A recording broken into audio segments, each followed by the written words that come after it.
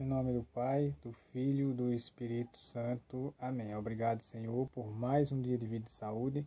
Que o Senhor venha nos abençoar, proteger todo mal, perdoar todos os nossos pecados, abençoar todos os nossos familiares e amigos, livrando nós todos do mal, hoje e sempre. Amém. Vamos iniciar mais uma semana, que essa semana seja muita paz, saúde, alegria, sucesso e prosperidade.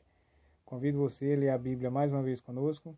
Leitura bíblica de hoje é Lucas, capítulo 20, do versículo 9 ao versículo 18, na página 91 na Bíblia.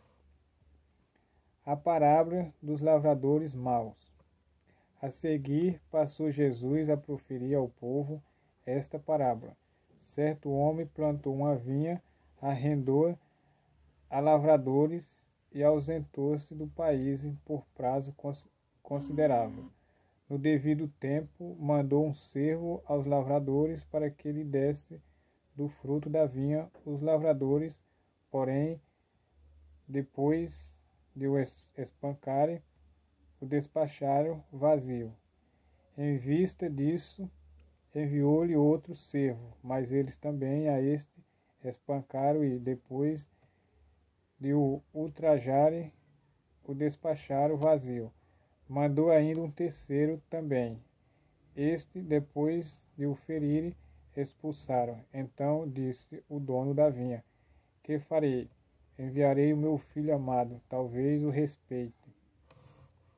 Vendo, porém, os lavradores arrazoavam entre si, dizendo: Este é o herdeiro, mantemo para que a herança venha a ser nossa.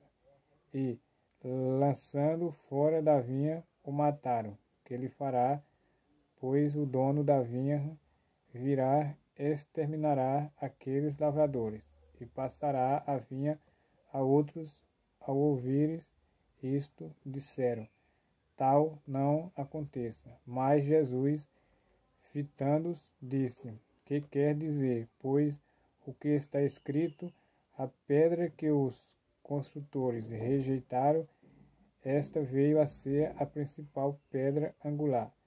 Todo o que cair sobre esta pedra ficará, ficará em pedaços, e aquele sobre quem ela cair ficará reduzido a pó. Amém. Em nome do Pai, do Filho, do Espírito Santo. Amém.